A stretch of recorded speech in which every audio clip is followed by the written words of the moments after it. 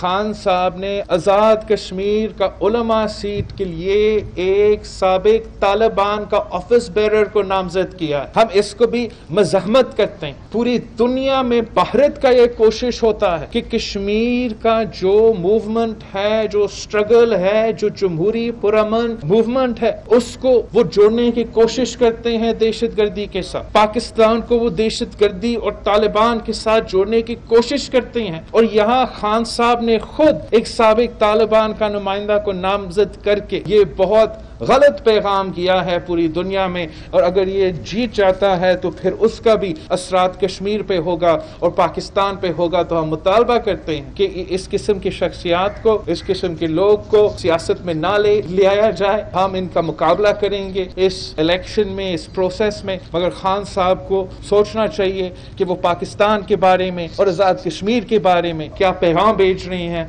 आज़ाद कश्मीर के लोग, पुरमन लोग हैं। आज़ाद कश्मीर के लोग एक पीस पीसफुल रेजिस्टेंस में यकीन रखते हैं। आप उनको दहशत गर्दी के रूप में दुनिया के सामने दिखा रहे हैं और ये पाकिस्तान पीपल्स पार्टी इसकी भी मजामत करते हैं। आम आदमी पहचान चुका है कि तब्दीली का असल चेहरा तारीखी महँगाई है। तब्दीली का असल चेहरा तारीखी गुर्बत है। तब्दीली का असल चेहरा तारीखी बेरोजगारी है। यही वजह है कि मजबूर हो के आज़ाद कश्मीर में उनको धांधली पैसा की बुनियाद पे तशद की बुनियाद पे अपने हुकूमत खड़े करने की कोशिश कर रहे हैं, मगर पूरा पाकिस्तान में आप इस तरीके से नहीं चल सकते हैं। इन ताला कराची से लेके कश्मीर तक पाकिस्तान पीपल्स पार्टी इस तब्दीली सरकार को, इस सिलेक्टेड हुकूमत को गुर्बत, बेरोजगारी और महँगाई का जिम्मेदार हुक्मरानों को भगाएँगे और एक ऐसा अवामी हुकूमत लेकर आएँगे जो अवाम के मसाइल हल कर सके, जो आम आदमी के लिए, सफ़ेद पोश तबका के लिए, मेहनत कश, मजदूर किसान के लिए एक मुआशी पॉलिसी लेकर आ सके। ना कि इमरान खान की तरह जो अमीरों के लिए अपनी मुआशी पॉलिसीज़ में रिलीफ दिलवाते हैं और आम आदमी के लिए तकलीफ़ दिलवाता है। पीडीएम के बनने से पहले पीडीएम के बनते हुए पीडीएम में जब हम थे और पीडीएम से जब हम निकले, हमारा स्टांस में एक कंसिस्टेंसी रहा है। हमारा पॉलिसी में एक क्लैरिटी रहा है कि हम जानते हैं कि जमहूरी पार्लिमानी तरीके से हम कैसा इस हुकूमत को ना सिर्फ़ टफ टाइम दे सकते हैं, मगर पंजाब और वफाक समेत इनको ख़त्म कर सकते हैं, इनका हुकूमत को भी ख़त्म कर सकते हैं। और जबकि हमारे जो अपोजिशन में दोस्त हैं, उनका ना क्लैरिटी है ना उनके पास कोई पॉलिसी है कि किस तरीके से वो इस अवाम को, इस हुकूमत से निजात दिलवाना चाहते हैं। तो जब हम साथ थे, मेरा वही पैगाम था। आज भी मेरा वही पैगाम है कि पार्लिमानी तरीक़ेकार अपनाया जाए। हमने वैसे तारीख रकम की थी जब हमने सेनेट में सिटिंग हुकूमत को शिकस्त दिलवाया था। हम मिल के काम करें तो पंजाब में हम बुजदार को बुका सकते हैं, वफाक में हम इमरान का हुकूमत को ख़त्म कर सकते हैं। अवाम के लिए एक ऐसा हुकूमत बना सकते हैं जो उनके मसाइल हल करे।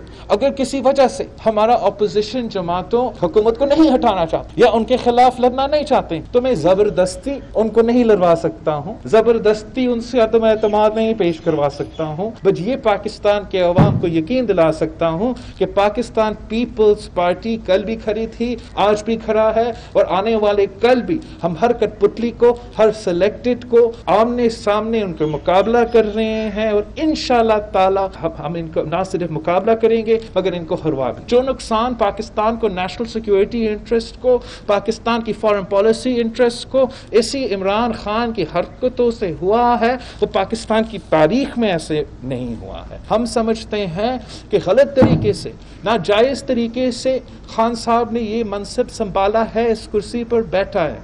मगर अब वो उस कुर्सी पर बैठा है तो उस कुर्सी का इज़्ज़त और उस मुल्क का इज़्ज़त तो करे और इस किस्म के बचकानता हरकतें ना हो।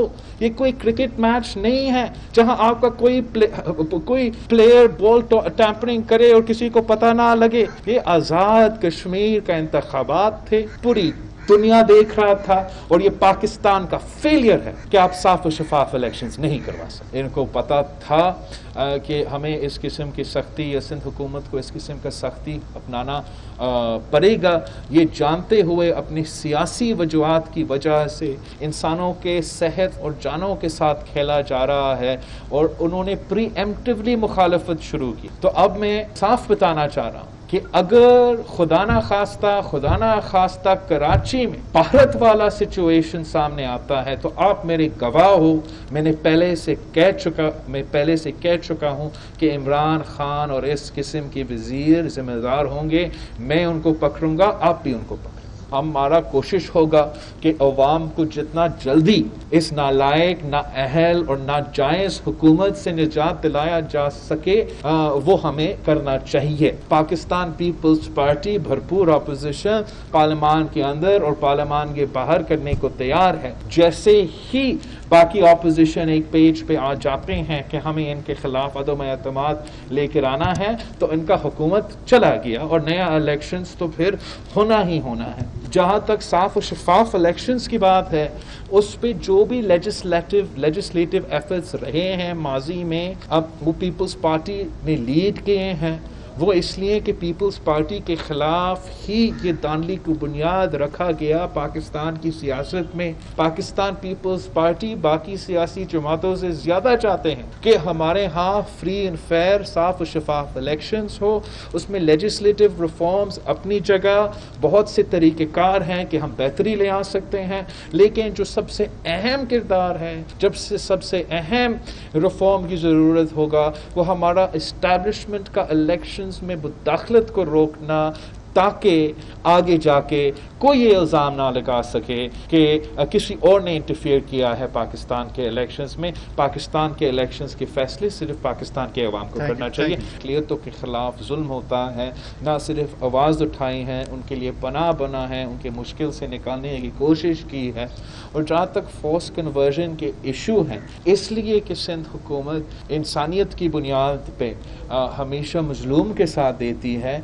आपके यहाँ ज़्यादा केसेस रिपोर्ट भी होते हैं और ये बात तो मानने पड़ेगा कि सिंध में सबसे ज़्यादा हिंदू पाकिस्तानी का तादाद है। तो ऑब्वियसली फिर जो इंसिडेंट्स उनके साथ होंगे, वो सबसे ज़्यादा हमारा सूबा के साथ ताल्लुक़ रखेंगे। मगर आपने ये भी साथ देखना है कि जब भी जुल्म होता है, जब भी जबर होता है तो वहाँ का सूबाई हुकूमत किसके साथ खड़ा होता है? क्या वो खड़ा होता है जुल्म करने वालों के खिलाफ या मजलूम के साथ खड़े हों? मैं समझता हूँ कि सिंध में मेरे वज़ीर, मेरे नुमाइंदे हमेशा पहुँचते हैं उनके पास जो मजलूम हैं।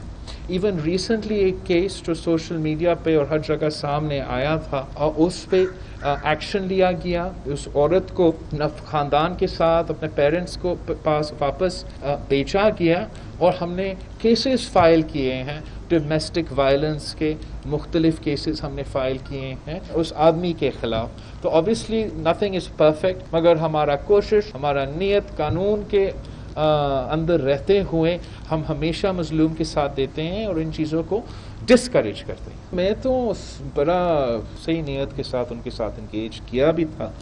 दो तीन साल मैंने इसी चीज़ पे लगाया और जहाँ वहाँ उतना क्लैरिटी है ही नहीं वहाँ इतना कन्फ्यूज़न है। तो बहुत मुश्किल आ, होता है कि जब इतना कन्फ्यूज़न हो कि दूसरी जमातों भी इस कन्फ्यूज़न के साथ ही आगे चले। हमारा प्रपोज़ल जब उनके साथ थे, वही प्रपोजल आज भी मैं मेरा प्रपोजल अगर उनका कंफ्यूजन ख़त्म हो जाता है, अगर उनके पास क्लैरिटी आ जाता है तो फिर मेरे ख्याल में अपोजिशन के लिए ज़्यादा आसान होगा। इसके इस कदम इस किस्म का कदम लिया जाए। अगर नहीं तो पाकिस्तान पीपल्स पार्टी ने अपनी सियासत तो करनी है। हमने अवाम को इस तरीके से हम लावारिस तो नहीं छोड़ सकते हैं। जब तारीखी मुआशी बहरान है, जब तारीखी गुर्बत है, तारीखी महँगाई है, तारीखी बेरोज़गारी है electricity load shedding gas load shedding I mean आप यू नेम इट तो इस इस माहौल में पाकिस्तान पीपल्स पार्टी ने तो अपोजिशन की सियासत करनी है। चाहे वो आज़ाद कश्मीर हो, चाहे वो सेनेट हो, चाहे वो बाई इलेक्शन हो, वो हम हुकूमत के सामने खड़े हैं। हम उनको ओपन प्लेइंग फ़ील्ड नहीं देंगे इन ताला। और आप आने वाले दिनों में देखेंगे कि पाकिस्तान पीपल्स पार्टी इस हुकूमत के लिए, हम इनके इस हुकूमत के लिए एक सियासी महाज, एक सियासी मौक़ अवाम की जो आवाज़ है, हम अब हुकूमत के सामने ज़रूर वो पेश करेंगे।